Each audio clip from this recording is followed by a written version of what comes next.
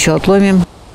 Вот, появляется белое молочко. В нашем крае все грибы, у которых есть молочко, они все съедобные. В любом грибном месте Лидия Переведенцева чувствует себя как дома. Даже те грибы, что не привлекут обычного любителя тихой охоты, она без внимания не оставит. Лидия Григорьевна – доктор биологических наук, главный эксперт по грибам по всему Уралу. Говорит, что и в стране-то таких специалистов двое – она и профессор из Пензы. Моя фамилия девичья – Груздева.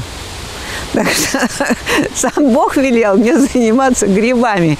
А все началось после педагогического института. После аспирантуры в Свердловске вернулась в родной пединститут. И по совету своего научного наставника, всемирно известного ученого Ивана Александровича Селиванова, на кафедре ботаники погрузилась в изучение царства грибов. Говорит, и по сей день не может из него вырваться, ведь чем больше круг знаний, тем больше и вокруг неизведанного.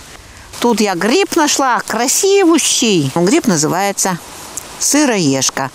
У нас их много. В Пермском крае где-то около 40 видов. Еще 45 лет назад Пермская область была белым пятном на микологической карте России. Тогда было известно лишь полсотни видов шляпочных грибов. На сегодняшний день описано уже более 900, из них около 300 съедобных. И все эти знания добыты одним человеком. Сейчас в дальней экспедиции по краю профессору Переведенцеву часто выбираться не получается. Благо на Парковом, лес под боком, есть место, где отвести душу. А знания свои Лидия Григорьевна передает молодежи. За 45 лет работы тысячи студентов имеют конспекты по ее лекциям. Мне это очень нравится. Я очень люблю студентов.